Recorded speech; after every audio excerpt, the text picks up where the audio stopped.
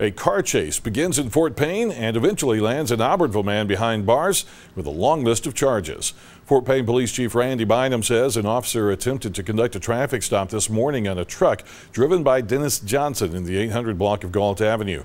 Johnson continued driving, making several turns throughout the city and eventually headed north on Green Hill Boulevard, leaving the city limits.